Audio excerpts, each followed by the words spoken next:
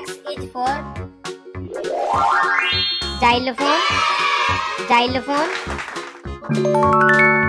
X-ray, X-ray. Oh yes! Oh yes!